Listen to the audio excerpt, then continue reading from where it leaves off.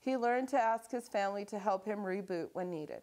Soon, Robbie's good days outnumbered his bad days. Going to therapy and talking out a problem with a licensed professional can be helpful, but maybe not for children with communication disorders. Some of these children, when I first met them, they wouldn't, you know, the one child wouldn't even talk to me. He would just sit beside me. And so then I tried to use some play therapy with him and stuff, but he did love to have stories read to him. So that's what got me the idea of what a great way of reaching him is through a therapeutic story. There were no children's books that related to the kids she was trying to help. I think what happened was when therapeutic stories were started, um, there was a real focus on using them with children with abuse because it was a way to address the abuse without making the child have to constantly talk about it.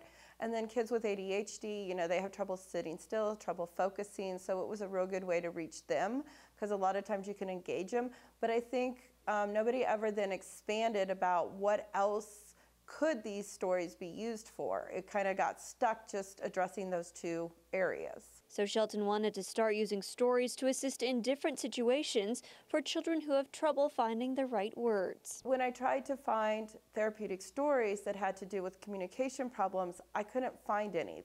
There was a lot for children who had been abused, children with ADHD, children with trauma, but not, I could not find any with children with communication problems. So I decided to write my own. Robbie the Robot was published in January, and Shelton has seen the impact of her book already. I've used the book in practice with several different children.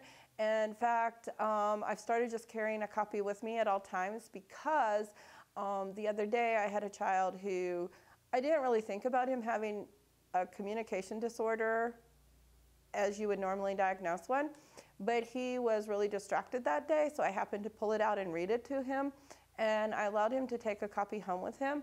And he said to mom, he goes, I'm just like the robot. Sometimes the words just don't come out for me.